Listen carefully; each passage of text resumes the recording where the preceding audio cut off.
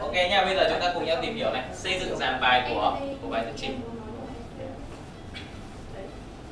Mà quay kia thôi cứ ngồi đấy mà quay đấy hơn là cần gì nhiều. Dàn bài thuyết trình thì ờ, theo các anh chị thì ờ, thuyết trình thì chúng ta có cần dàn bài không? Có vậy thuyết trình thì cần mấy phần? Ba phần. phần. Đầu là gì ạ? Mở bài thân bài kết bài. à đấy ạ. Nó cũng giống như văn đúng không Vâng. vậy thì theo các anh chị thì ờ, mở bài thì nó như thế nào? Xin chào tất cả nó phải quy tắc đúng không nhỉ? Ok các nhìn chị nhìn nhá. Cái thứ nhất ấy, đó là mở bài. Chúng ta có ba phần nó giống như là gì ạ? Chiếc mũi đinh. Cái đinh. Ờ, chúng ta sẽ học hai phần đó là dàn bài cơ bản và cách thể hiện các phần chính được chưa? Và bài thuyết trình thì nó bao gồm nó gì ạ? Giống chiếc chiếc đinh. Chiếc đinh ở đây theo anh chị thì nó cần có mấy bộ phận nhỉ? Mấy phần nhỉ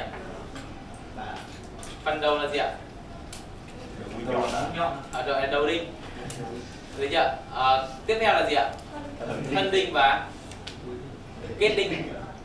Mũ đinh. Ok. Vậy thì theo anh chị thì nếu như là một cái um, bài thuyết trình mà nó không có mũi đinh nó chỉ có thân đinh thôi thì theo anh chị ờ, nó có ghi được vào lòng khán giả không ạ nó giống hai mảnh gỗ một mảnh gỗ là thính giả một mảnh gỗ là khán giả. Để ghim lại truyền tải cái thông điệp thì bắt buộc phải bài thuyết trình. Có ghi được không? Có đóng được không? À không đóng được. Vậy muốn đóng được nó cần phải có cái gì nhỉ? À đầu đinh đúng không nhỉ? À, đầu đinh của đóng được. Ok đầu đinh như vậy là gì ạ? À đây là à, mũi nhọn đó chính là mở bài.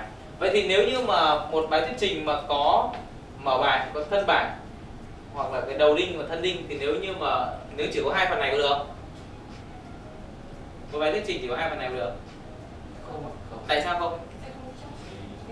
Trước khi vào một cái bài thuyết trình thì phải có cái ờ, mở bài để bắt đầu một câu chuyện hay bắt đầu Ở đây mở bài đây rồi. là kết bài à, kết bài. Kết bài để làm gì? Để, để giữ lại đúng không? Để neo lại đúng không? Nếu không có cái mũ đinh này thì có neo lại không ạ? Không. À, không giữ được cái gì cả. Nó tuột đi. Đúng không nhỉ? Ok vậy thì bài thuyết trình nó phải có đủ cả ba bộ phận ví dụ mở bài thân bài và và kết bài nó giống chi đinh như vậy. Được chưa? vậy đóng chúng ta phải đóng cái này trước. Đúng không?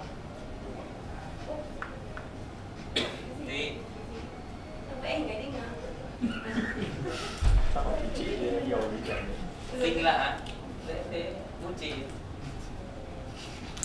Rồi bây giờ chúng ta cùng tìm hiểu các phần chính. Vậy thì cái mở bài đây chúng ta sẽ lưu ý này đó là không có cơ hội. Thứ hai. Gì ạ. à, để gây ấn tượng ban đầu. Cho nên là gì ạ? Lúc mà chúng ta gây ấn tượng ban đầu thì lúc cái mở bài quan trọng nhất. Vậy theo anh chị ở đây chúng ta cùng nhìn lại đó là gì ạ? Theo anh chị thì mở bài và thân bài thì nó là dài hay ngắn? Ngắn hay dài? Mở bài thân bài kết bài thì cái nào dài hơn? Thân bài. Giải nhất. Ở thân bài dài nhất đúng không nhỉ? Mở bài và kết bài có cần dài không không. À, không cần dài đúng không nhỉ đấy chúng ta nhìn cái đinh thì chúng ta hình dung ra một bài toán trình và nó rất là dễ nhớ đúng không nhỉ? Dạ. Và tiếp theo ở đây là gì ạ? Tôi sẽ hướng dẫn các anh chị ở đây. Ờ, đó là cách thể hiện các phần trình của phần mở bài như sau. Ở đây thì mỗi phần tôi sẽ cho một cái ví dụ. Ví dụ. Không có dấu bút gì ạ? Đó là ví dụ về minh họa và câu chuyện. Đấy ạ? câu hỏi trích dẫn. Con số thống kê và các tình huống gây sốc thực nghiệm. Đó trò chơi video clip, hành động và kết hợp nhiều cách. Tổ hợp. Đây là các cách để chúng ta sẽ mở bài.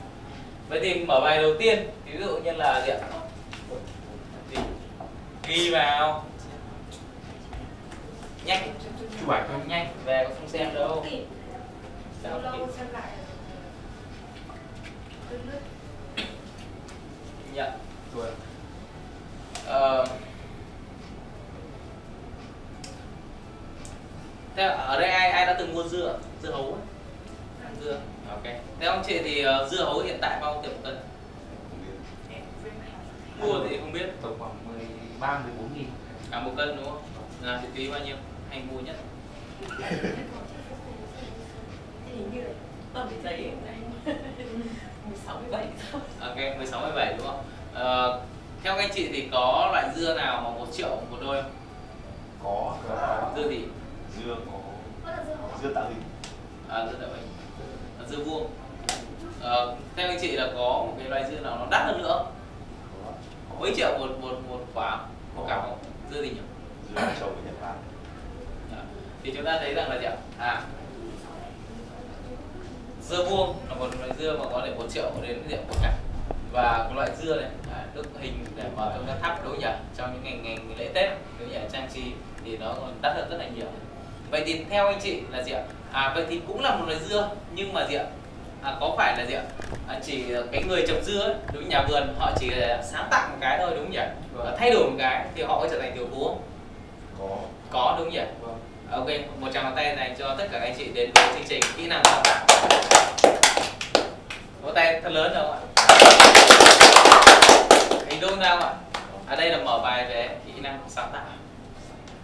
Hình dung ạ đó đấy là một cái ví dụ. Thì đây là liệu ví dụ minh họa về một một chủ đề. Ok. Ờ, bây giờ các anh chị sẽ có 2 phút để làm một cái gian bài. Được chưa? Gian bài về chủ đề gì được nhé? Chỉ cần sau bắt đầu là dẫn vào cái chào mừng anh chị đến với à, chương trình gì đó. Hiểu ý không ạ? Là xong nhé. Tức là mình mình chỉ diễn lên đấy thôi. Hiểu không? Ừ. Nghĩa là hiểu gì à? hả? Nghĩa là đứng lên thuyết trình à? đúng rồi. Bây giờ nhá chúng ta học đến đâu chúng ta sẽ áp vào đó. Được chưa? Vậy thì cái việc đây đó là gì ạ? Phần này là phần ví dụ. Ờ, lấy một cái ví dụ. Vừa rồi đây là có phải là một ví dụ không? Đây là một ví dụ đúng không? Ví dụ dừa. ờ, không không phải ví dụ. Ví dụ về để mở bài cho một kỹ năng tư duy Vâng. sáng tạo. Được không nhỉ? Câu chuyện này câu Vâng. chuyện.